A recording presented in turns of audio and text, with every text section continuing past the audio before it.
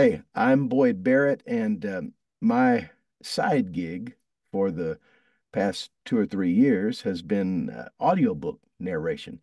I've learned a, a bunch about the whole process, which I love, and uh, and I've met a lot of people in the narrator community, which is wonderfully supportive.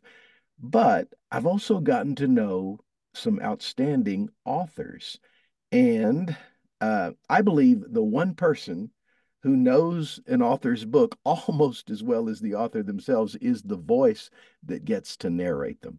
So uh, I'm I'm going to be interviewing some of the authors I've narrated for and introduce you to them and their work. Today, I'm talking with John LeMay, who's from right here in Roswell, where I am. Hey, John, welcome. Hey, Boyd. Nice to see you over the Zoom call. Yeah, absolutely. I'm I, I'm excited about uh, getting into some of this stuff. Um, now, for those of you who don't know, John is the author of. We were just talking before. I didn't realize how many nonfiction books he'd written. He's somewhere around 50 nonfiction books. But my narration has been of his series of novels, and it's a the 21 Gun series, correct? Is that that 21 Guns? Yeah, 21 guns, and the goal is 21 books. There you go, 21 books. He's very ambitious. And before we dive into those, though, tell us a little bit about your author's journey and and maybe a little bit about, you know, just an overview of of some of the things you've you've already done. Sure. Well, so even though the the book you narrated, the noted desperado Pancho Dumez, even though it was only published uh, a couple years ago, I actually started writing this when I was 19 years old. I I had not had any uh, book published yet, and uh, you know I I really wanted to do novels, but uh, novels, you know, it's typically for novels you've got to get an agent and get your foot in the door with the publisher, and I was always trying to do that, and I could never get an agent.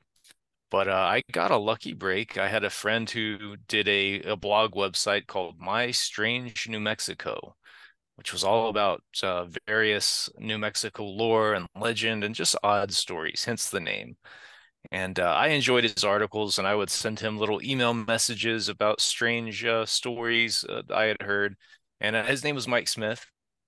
And Mike invited me to have my own blog on his website, just focused on Roswell and that kind of got my foot in the door in terms of writing. And then what happened next is uh, Mike also wrote for Arcadia Publishing. He did a really great book called Towns of the Sandia Mountains. And he said that they wanted somebody to do Roswell, but they didn't know who to reach out to. And so he just connected them with me. And that began my journey into uh, the world of writing because those little Arcadia books, they're easy to do. You basically need to round up a bunch of really beautiful vintage images then come up with captions and chapter introductions. So it's a great way to write a first book because it's nice and easy. So that was my first one. And that uh, got me rolling. And, and like Boyd said, now I'm up to around 50 nonfiction titles. That's incredible. I, I can actually remember, I, I remember seeing those books that you're talking about that you started with. I've, I've seen them on shelves all over. Um, now, let's go back to when you first contacted me because if I remember right, you were thinking about once you'd you'd started writing these novels, you were thinking about narrating them yourself, correct? Yeah, that was a crazy idea too. I I realized now how time consuming and difficult that would have been. Yeah, yeah. and so so you called me and uh or contacted me online and just asked if because you had heard that I was doing it and just ask for some advice. So I came and we we sat down and I just kind of gave you some of my advice. The the interesting thing is uh you you were about to do you we wanted to start out with the first of the books, which is the the it's a first person narration from a teenage boy's standpoint. And so when I saw that, I thought, well, there's no way I could do that. Uh, hmm you know, and and because I always look to see if something is is in my wheelhouse.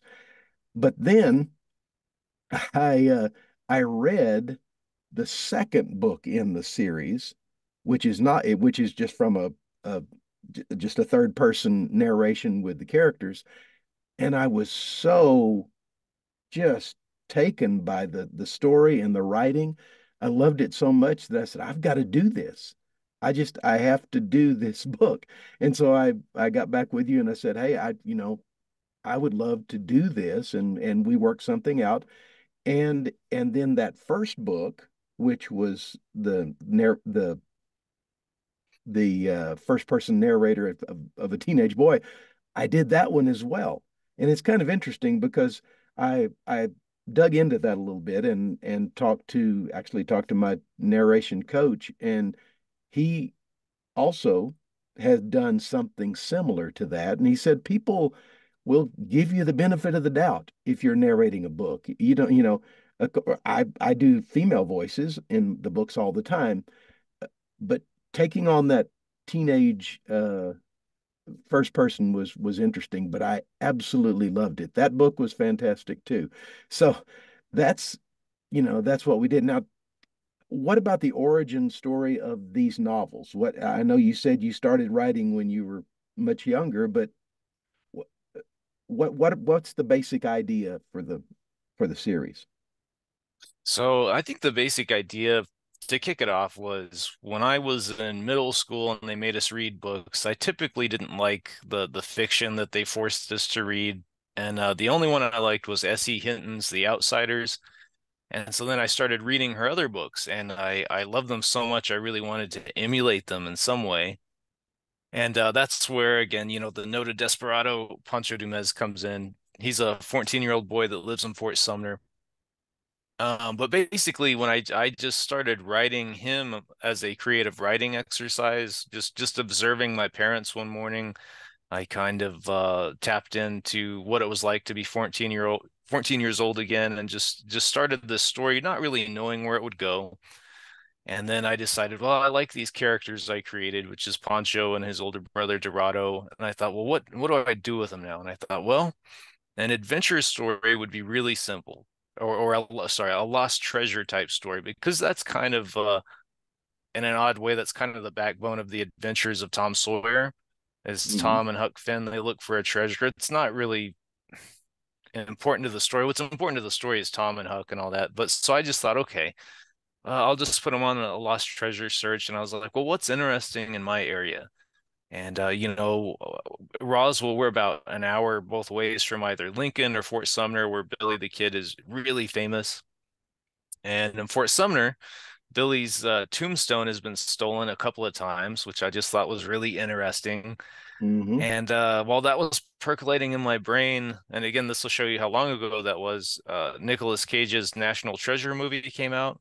Oh wow, yeah. Yeah. You know, and that's a pretty the movie itself is really good, but if you just pitch the movie without having seen it that it's about a treasure map on the back of the Declaration of Independence, it sounds incredibly stupid.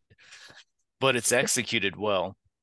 So mine is similar. Mine is I I just came up with a story that okay, the reason why Billy the Kid's tombstone gets stolen so much is because there's a treasure map hidden inside of it somehow.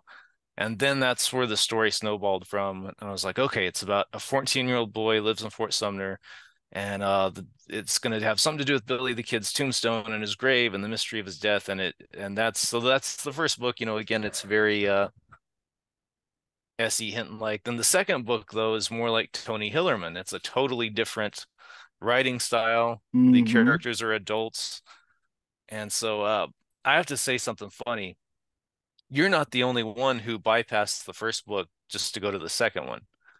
So uh, mm-hmm. uh, my best friend's mother, I had given her a copy of the first book, and I I just kind of noticed she she started it, didn't finish it, and then I gave her this one when it was published. Once upon a time in Fort Sumner, she couldn't rem- she didn't realize they were connected. Well, she started reading this one, and she loved it. She devoured it within a day or two, and she told me how much she loved it. She was like, "Oh, is there a sequel?" And I said, well actually that that book that you didn't like and you never finished is the sequel but and i think then because she had an appreciation for the universe that was set in she read the first one so. Right right. And and i want us to talk a little bit about the whole time frame thing but but before we do i have to tell the audience that uh, this is a genre kind of all of its own. I've never read anything like it. There's uh there's fantasy there's horror there's Old West, there's legend, uh, comedy, coming of age, even a sprinkle of romance. I mean, it's it's got everything. And um, when when you were when you were thinking about this, who did you think your audience was? So on that very first one, I was thinking for uh, you know, again the middle grade audience, but actually I think it's probably adults who enjoy all of the books more. Um, so it's definitely changed a lot. And I, I originally I didn't and I didn't intend 21 books. I think I was thinking just one little trilogy, and it would just be again based off of uh I guess you call it the timeline in this book, The Mhm. Note of Desperado, which is set in the 1970s. But uh, I kept getting ideas for prequels and spin-offs, and then it hit me, well, what if uh what if it was kind of like Star Wars, where you went backwards? You know, you you you start with this book in 1976, then the sequel, prequel, whatever you want to call it, set in 1950. So Right. basically, the storyline in the present, questions are asked, and then because that's typical of all films, you know, you ask questions in the storyline that are answered in the sequel. Well, in this case, the questions are asked and then they're answered in the prequels, and you get the answers to the questions and, and so on. And Yeah. Yeah, it's it's kind of an interesting deal because uh, that's exactly what's happening. You're going back and and and the third one you're working on now is even farther back in time, correct? yeah, the third one, you know, the focus of the whole trilogy is basically Billy the Kid, and the uh the third one stars Billy. This is Logan Pack's uh proto cover. It's a Oh, sketch cover. great. I haven't seen that yet. All right. Yeah. Yeah.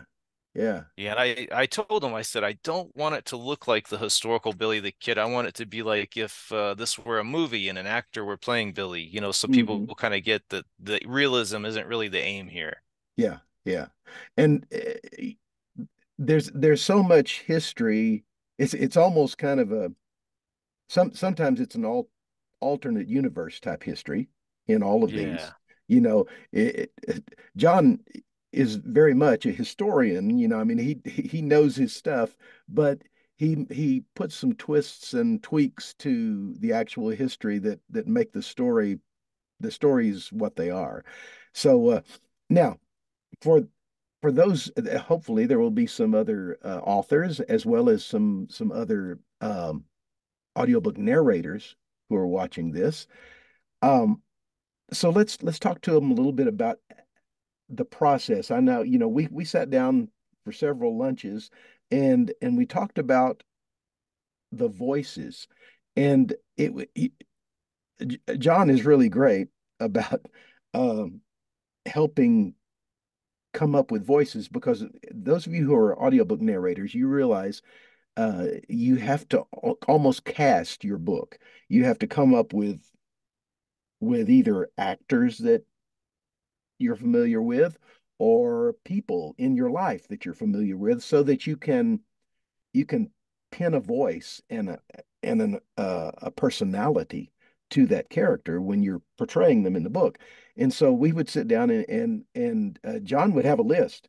He'd say, "Okay, this is this is who I was thinking about when I was writing this character." And that's so helpful for those of you who are authors, and if you are working with uh, with narrators, that's very, very helpful. So, John, talk about that a little bit. When when you're writing, you have you have actual actors or people in mind? Yeah, so when I was younger and I did the first book, you know, the the Note Desperado, Pancho Dumez, I I didn't really have an actor in mind for Pancho. He was his own unique creation. But when it came to the people around him, everybody was just an actor or a character that would catch my eye, and then I would just kind of do my own version of them, frankly. And uh, you know, I don't mind saying who was who, but I, I don't know what the legalities are and stuff Right, like that. So right. maybe I Yeah. shouldn't. Yeah. You don't have to say, but yeah. Yeah. But it was Yeah. it was cool. Yeah, and and, and as a narrator, what that does, I, and I don't think John was never asking me to sound exactly like somebody, but he said this was who I had in mind. So if I had that same actor in mind, Yeah. then my my personality and and a little bit of the voice, sometimes I would catch the voice pretty well. But even if I didn't catch the voice, I would try to say I'm I'm trying to embody that how that actor would do the the character. So Yeah. that's what we did. Um, and uh, so we were it, it, was it was very much a collaboration um, whereas i was trying to bring to audio as faithfully as possible what john had in his head when he was writing um, and uh, and it was just it was a joy and and you know we're going to continue to to do these as he as he um, as he keeps going here um, now you mentioned logan pack the the covers. You know, Yeah. you you've you've held up the covers. I'll put some, you know, on on the uh, on this video. I'll put some of those up. Uh, Logan has done all the the covers. Talk about that that collaboration. Yeah, so uh, I, we have a little fun convention here in Roswell called Galacticon, and uh, I had always known Logan, but uh, I was at Galacticon, and we have a, a man here in town named Matt Bromley who makes his own board games, and he had done this pirate board game, and he had done he had gotten Logan to do the box art for it, and I was looking at it, and I was like, why did I never think to ask Logan to do the artwork on my book? He's just so perfect because he has this this unique style. I to me, there's nobody quite like Logan in my opinion, and it's very Western and cool. And so, yeah, I'd always known Logan, and I was like, well, I'll just ask Logan to do it. And I'm very pleased with it. You know, same way with Logan, I kind of give him subtle notes that secretly, you know, this character is really this actor, and hmm uh, you know, and hopefully some people can kind of recognize who they are and, and things like that.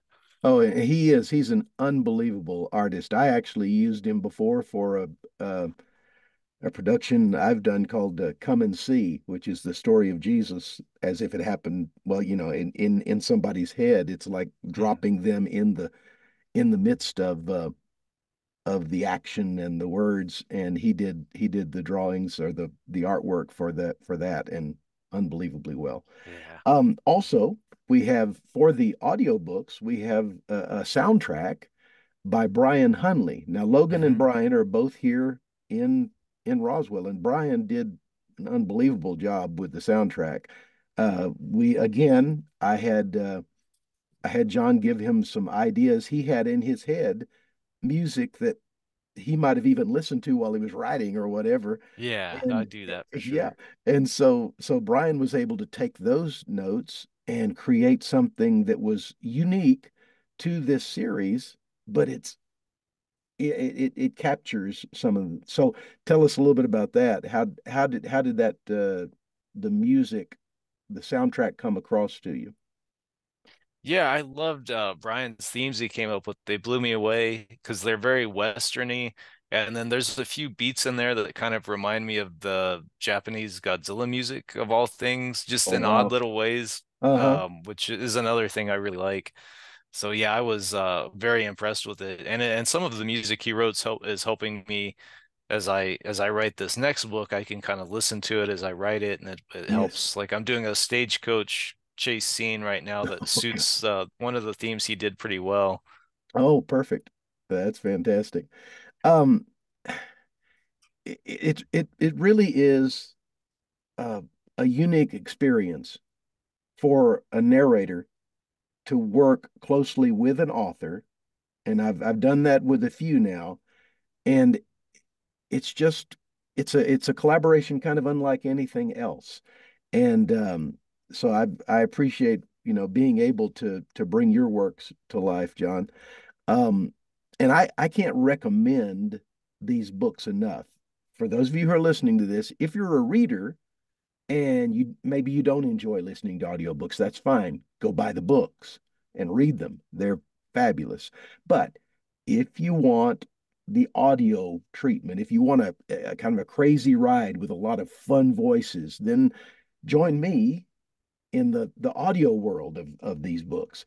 Um, and you'll find links. We'll wherever this interview gets posted, we'll put links to to all these things. Um, so, John, anything else that that you would like to to share about about the books or about our process? Sure. Well, I'll I'll concur to listeners that uh, you did a fantastic job just because, you know, I'm sick of those books in terms of like reading them again. Because you proofread your own books a lot, especially if you're independently publishing, you've got to be your own Yeah. proofer and your own editor. So I've read these books a million times, and uh, when I listened to Boyd's version, it was like getting to experience my book again for the first time from a different perspective. So I loved it and I had a blast uh, listening to it. So yeah, if you're an audiobook person, uh, can't re recommend it enough. Yeah, well, that's great. Um, and you know, thank you again for for the opportunity, and and thanks for your time. Uh, just sharing about this a little bit. I hope that it is something that will encourage other narrators and authors uh, because sometimes a narrator never gets to meet the author. Uh, if you're Mhm. working maybe for a, a big publisher or something, which I, I haven't really done for a, one of the big, big, big publishers. Um, and I, th I think it's it's helpful to get the, you know, the the input from the from the one who wrote the book. So it's it's wonderful. Um, okay. Well, John, thanks again. And uh, and one of these days I'll be back with another narrator interviews author uh, segment. So until then, bye bye. Yeah. Thank you, Boyd.